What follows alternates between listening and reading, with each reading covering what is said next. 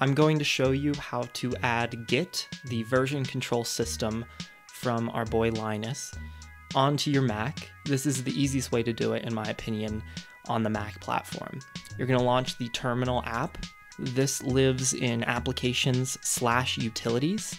Another way to get there is by going to the search bar and just typing terminal and going in there that way. Um, next, you're going to simply write git and press enter. And that's going to prompt you to install uh, developer tools surrounding Xcode and Xcode app itself, which is just a default set of development utilities um, that are provided to you by Apple.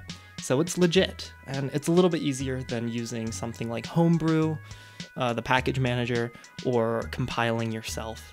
Um, so go ahead and accept that install. You're going to agree to the terms, you know.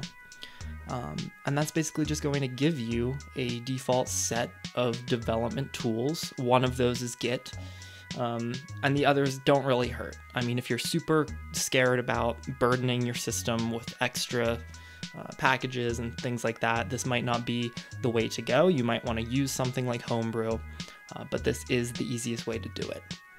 I hope that helps, and uh, now you can use Git to your heart's content in all of the infinite glory, which is Git.